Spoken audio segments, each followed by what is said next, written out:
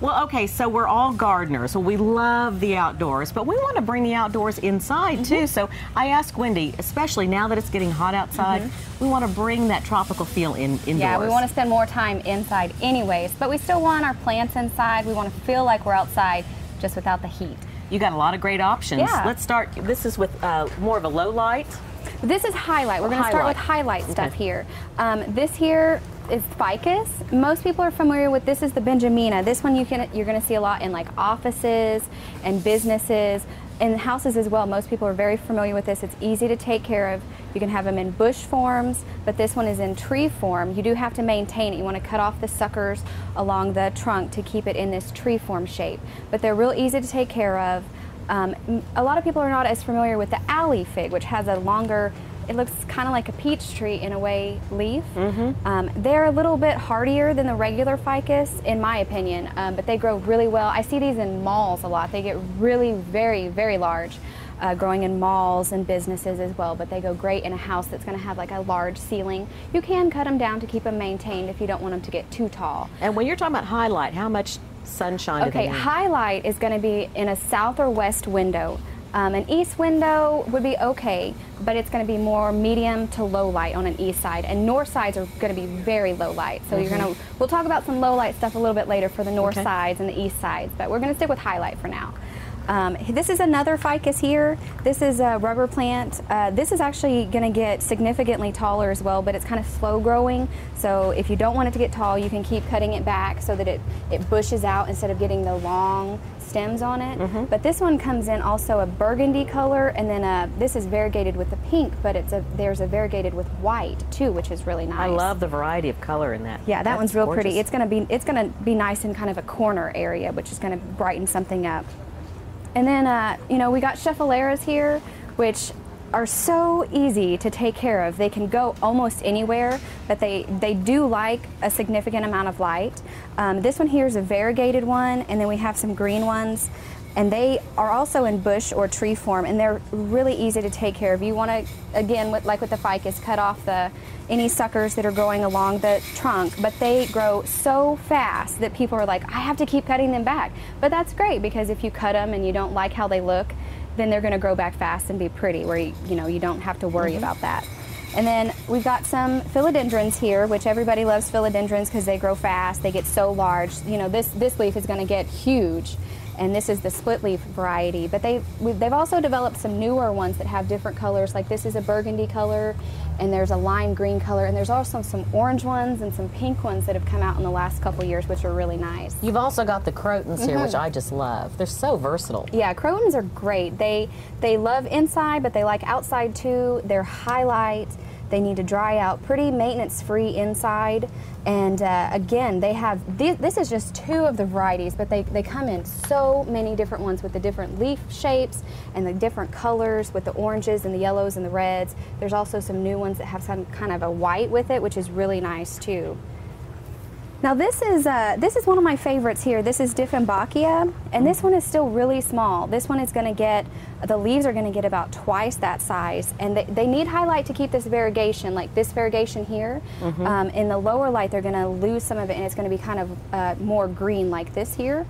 Um, but they, they also come in the different different varieties here with the more white and speckles, uh, which are really I, I I love these plants. They they're really easy to take care of. Let them dry out between waterings, and they're really nice. And very showy. Mm -hmm, yeah. Speaking of showy, this is cordyline, which it looks kind of like a grass, but it has a nice texture to it, which is going to add. It's kind of contemporary, so it would be really nice in a in a contemporary office or home. And uh, these like highlight, and they need to go really dry between waterings, but they can go outside as well, which would be nice in a mixed pot. Um, and then we have the Dracaena mass cane, which these are so, this is probably one of the easiest houseplants to take care of. They, in, I don't know if you can see this pot or not, but the pot is about 10 inches across and it, Let's go through the jungle here. um, I mean, really, on this, you're going to be looking at maybe once a month watering this plant. maybe. You have to let them go very, very dry because just because the plant is really big, the root system grows very slow, and so they need to dry out, or the root system, you run a risk of drowning it and it could die. But they have this great variegation in the leaf and these awesome trunks, which are just very textural. And I see these in a, a lot of restaurants because they're so easy. And here's some more Dracaenas here, the Marginata, which has this really cool trunk here. And then we've got the different colors here, like the limelight and these bicolors, which are, these are all really easy to take care of. These can go low light or high light. Mm-hmm. And then the mother-in-law's tongue, which most people are familiar with, these are low light or high light. Pretty, pretty maintenance free. I kind of call them throw them in a corner because you just let them go really, really dry. They don't require a lot of fertilizer or anything. And then this one here, this is my favorite one. This is Aglaonema and they they're only going to get about two to three foot tall but they they go in very low light. We're talking about low light stuff now. And they come in the different colors here with the different uh, shades and speckles. And i just i have about 11 of these in my house because they're so easy to take care of. Well, you're not a gardener now no no no no. And then most people, you know, when they think of indoor plants, they think of peace lilies, and this is the peace lily here, and they have the great, the great blooms here. And I just want to point out, this one's in a pot, um, and we don't recommend potting in the pots. It's better for the plant if you just set it inside. Mm-hmm. But sometimes you get you get the pots are so big that you uh, they're heavy and you um, you need to lift the pot up. And so we recommend putting these oopsie daisies in there, mm-hmm. which just creates a false bottom, mm-hmm. so it lifts the plant up. And then you can put this moss, this forest moss, over the top, so that you can't see that it's not planted in there, which is really nice. And then we've got some palms here. Everybody wants palms for inside, um, but a lot of palms are really high light, but these are low light palms. This is a bamboo palm, and then the sago palm here, which is really nice. Uh, it's a highlight palm though. Mm-hmm. And then we have Neanthe bella palm, which is really good. It stays real short. And then we have everybody wants hanging baskets inside. You know, you got to have a different different height and stuff. Well, that pothos, man, I'm telling you that I have a lot of those in my house because they're foolproof. Yeah, me too, me too. They're they're really easy. I actually have some growing in water on my kitchen table, which is really nice. And they they've started coming out with new varieties too, with the different colors like this one, the Marble Queen, and then there's the Cordatum too, which is really nice. Now this one requires some more light, but it's really fast. It's going to hang down a lot, and it comes in the neon color as well. And then we've got the ferns here. Uh, this is a staghorn fern and a rabbit's foot fern, which those are going to go great in like a bathroom area where it's really humid and you want to keep them moist. Okay, that's good And advice. then most people inside, they, they still want blooming plants. And so we do have some options for blooming. There's bromeliads, which give you a great tropical look there. Um, and then this here is a bromeliad too, which has the really pretty leaves.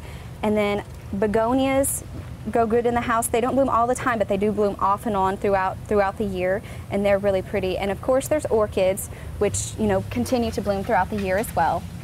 And then we've got a couple different things like terrariums, which are really nice, like in a small space or an office, and bonsais, which would be really good in an office, and they're just kind of fun. And then this here, I really like this. This is so cool. This is a volcano rock.